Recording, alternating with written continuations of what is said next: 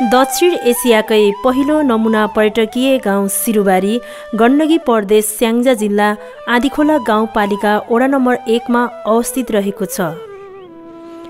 समुद्री सतहबाट सोह्र सय दस मिटरको उचाइमा सिरुबारी छाता आकारको लाग्दछ।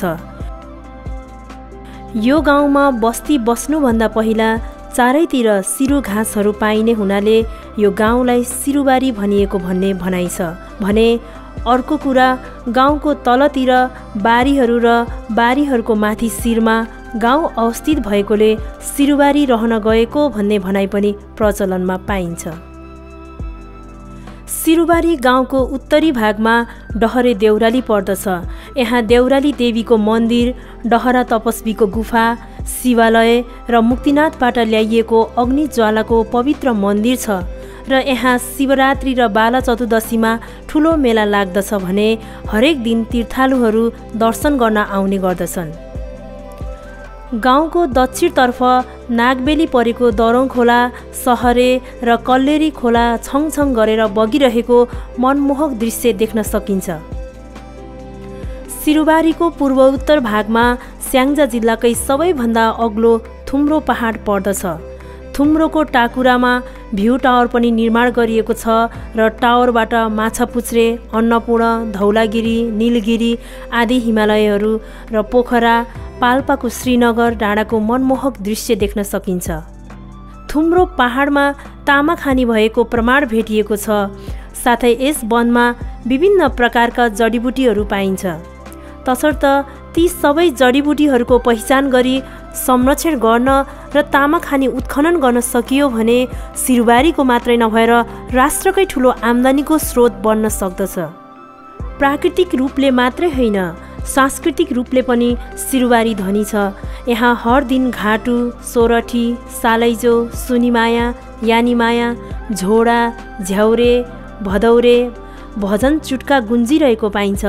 गाउँमा पाहुनाहरू घुम्न आउँदा लाहुरेहरू घर बिदामा आउँदा विवाह व्रतबन्धमा पूजाआजामा फुलमालाले स्वागत गर्दै विभिन्न रमाइलो सांस्कृतिक कार्यक्रम प्रस्तुत गर्ने चलन छ।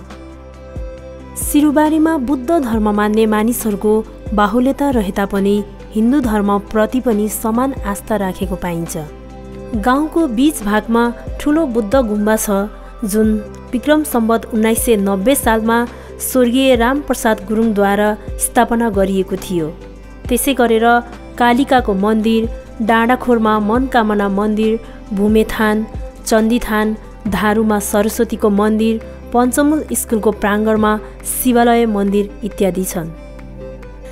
गाउँको माथि झाँक्री वनमा नय क्लबको सहयोगमा पिकनिक स्पोट वनभोज खाने ठाउँ निर्माण गरिएको छ। यहाँ झाँक्रीको स्थान छ र उघौली उधौलीमा वर्षको दुई पटक सम्पूर्ण गाउँले मिलेर पूजा गर्ने चलन छ। यो वनको घाँस दाउरा काटेर कसैले घरमा लगेमा अनर्थ हुन्छ भन्ने विश्वास रहेकाले झाँक्री वनको घाँस दाउरा कसैले काटेर लैजाने चलन छैन। वन जङ्गल संरक्षण र वृक्षारोपणमा गाउँवासीले विशेष प्राथमिकता दिएको पाइन्छ।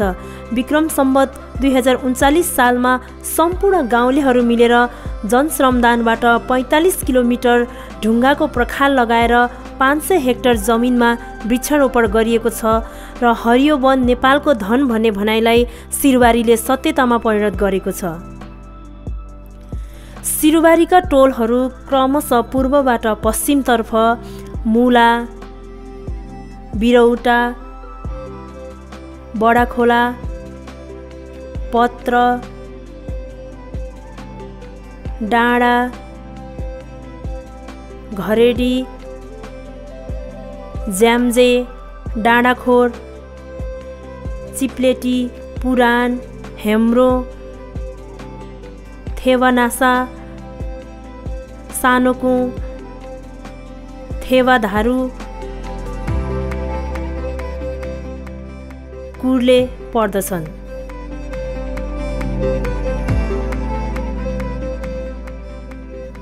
यहाँ लगभग तिन सय वर्ष अघिबाट बस्ती बसेको पाइन्छ। सिरुबारी गाउँभित्रका कतिपय टोलहरूको नाम गुरुङ भाषामा पनि राखिएको छ जस्तै राखुलधु पिपलधु प्यारकुमे कुधु पेकरधु कुइप्रो कुनासा दनसाउरो रैजो थुम्रो क्रनास तिमुप्ला कुत्लेसो इत्यादि। यो गाउँको मुख्य पेसा कृषि र पशुपालन भए तापनि अधिकांश युवाहरू भारतीय सैनिक ब्रिटिस सैनिक नेपाली सेना र वैदेशिक रोजगारमा विभिन्न देश गएको पाइन्छ भने कयौँ मानिसहरू सरकारी तथा गैर सरकारी तहमा जागिर गरी व्यापार व्यवसाय गर्दै आर्थिक स्थिति मजबुत गरेको पाइन्छ। शिक्षाको क्षेत्रमा पनि सिरुबारी धेरै अगाडि रहेको छ। हरेक टोलमा प्राथमिक विद्यालयहरू र पञ्चमुलमा त्रिशै मावि रहेको छ। विक्रम सम्बत उन्नाइस सय सतासी सालमा स्वर्गीय सुबेदार मेजर गम्भीर सिंह गुरुङद्वारा पञ्चमुलमा भाषा पाठशाला सुरुवात भएको थियो। तत्कालीन समयमा गुरुङ ब्राह्मण र दलित समुदायका बौद्धिक व्यक्तिहरूले आफ्नो समय कालखण्डमा त्यस विद्यालयको शैक्षिक भौतिक र आर्थिक विकासमा लागि परि आजको यस त्रिशै माविको रूप लिएको छ। गाउँ पर्यटनको इतिहासमा सिरुबारीको नाउँ सुनौलो अक्षरले लेखिएको छ। गाउँ पर्यटनका पिता होमस्टेका महानायक स्वर्गीय भुपु सांसद क्याप्टेन रुद्रमान गुरुङको अवधारणाबाट विक्रम सम्म दुई हजार चौन्न सालमा सिरुवारी नेपालकै पहिलो पर्यटकीय गाउँ घोषणा भएपछि यो गाउँको ख्याति विश्वभरि फैलिएको छ। हाल सिरुवारीमा आन्तरिक पर्यटक र विदेशी पर्यटकको आगमन दिन प्रतिदिन बढिरहेकोले यहाँका बासिन्दाहरूको आर्थिक स्तरमा धेरै सुधार आएको छ। सिरुवारी त्रिचालिस घरधुरी मिलेर बनेको गुरुङ बस्ती हो। सिरुबारी होमस्टेको पहिलो पाठशालाको रूपमा विकास भएकोले नेपालको एउटा पर्यटकीय गन्तव्य स्थलको रूपमा सिरुबारीले आफ्नो बेग्लै पहिचान बनाएको छ। पर्यटन गाउँ सिरुबारीले विभिन्न समयमा राष्ट्रिय तथा अन्तर्राष्ट्रिय पुरस्कारहरू प्राप्त गरेको छ।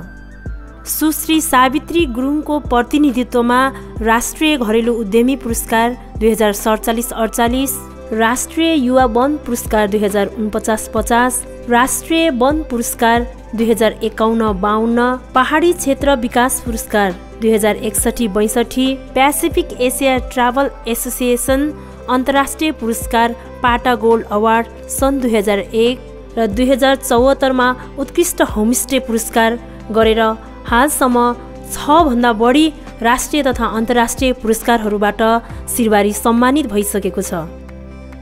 सुरुमा गाउँका त्रिचालिस घरमै होमस्टे गराइन्थ्यो। बसाइसराई लगायतका कारणले घट्दै गएर आज बिस घरमा मात्रै होमस्टे सुविधा छ। पर्यटकहरूलाई होटल तथा लजमा होइन गाउँलेकै भान्सामा खुवाएर सुताउने सुविधा नै होमस्टे अथवा घरवास हो। शिष्ट बोली पारिवारिक माहौल र आत्मीय व्यवहार पाइन्छ होमस्टेमा जुन होटेल तथा रिजोर्टमा पाइँदैन। होटेल तथा रेस्टुरेन्टबाट सीमित व्यक्तिले मात्र फाइदा पाउँछ भने पाहुनालाई घर घरमा बाँडेर राख्दा सबैलाई बरोबर फाइदा पुग्छ।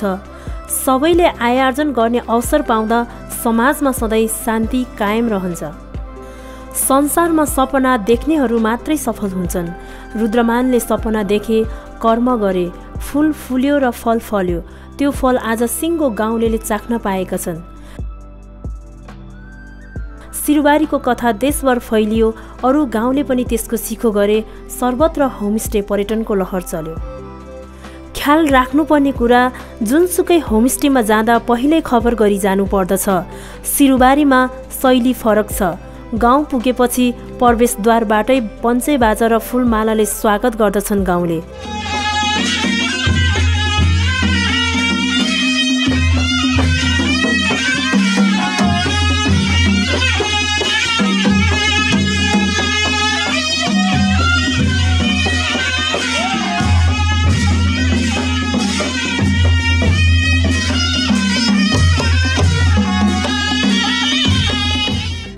स्वागत गर्दै गुम्बा लगिन्छ।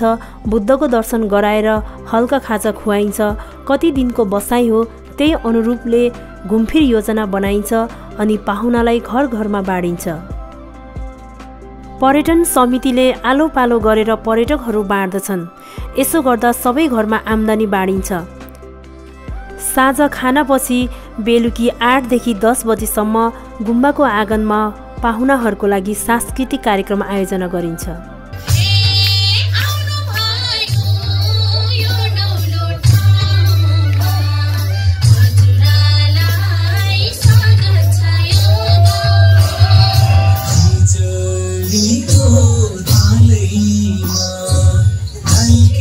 Inati, inati.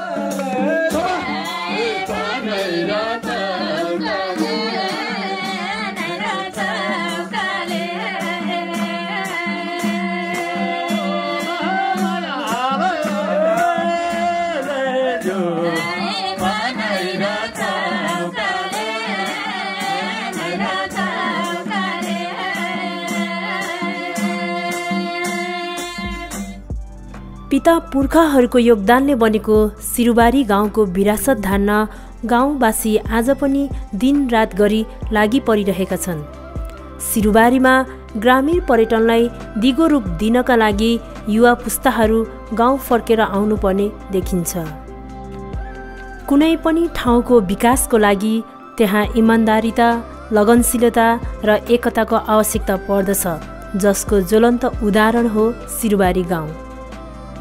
रुद्रमान गुरुङले देखेको सपनालाई साकार पार्नका लागि निकट रहेर सहयोग गर्नुहुने तत्कालीन सहयोगी व्यक्तिहरू पूर्व गाविस अध्यक्ष स्वर्गीय क्याप्टेन हर्कबहादुर गुरुङ भूपू प्रधान पञ्च स्वर्गीय लालबहादुर गुरुङ भूपू माननीय स्वर्गीय हरिप्रसाद गुरुङ भूपू प्रधान पञ्च स्वर्गीय जिमल दानबहादुर गुरुङ। साथै सिरबारी गाउँका सम्पूर्ण बाबा आमा युवा गाउँवासीको सक्रियता रहेको थियो। गाउँ पर्यटन सिरुबारीको कुरा गर्दा अस्ट्रेलियन नागरिक टोनी पारलाई कहिले बिर्सनु हुँदैन।